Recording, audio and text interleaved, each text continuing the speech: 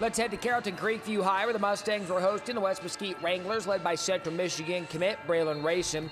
Right off the bat, the Creekview big man goes to work. Six-seven Larry Hughes gets the rock down low, has his first shot blocked, stays with it, gets the put back to fall. Nice work by the big fella.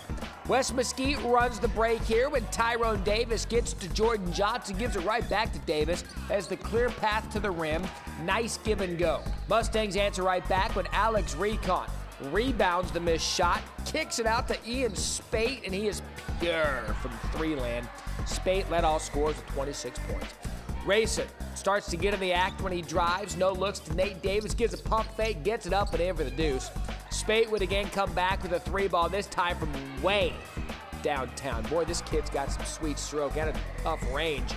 The Wranglers start amping up the D after that. Here, Davis steps in front of the pass. He cruises in for the one-handed flush for two of his 12.